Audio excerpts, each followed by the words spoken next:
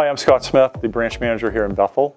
Um, we're currently celebrating 25 years of serving Bethel and the larger Western Maine market.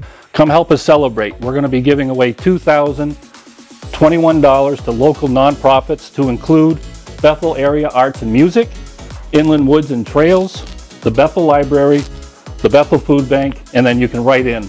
And we'll divvy it up based upon the number of tickets. So come on down, help us celebrate being in this community for 25 years. Thank you very much.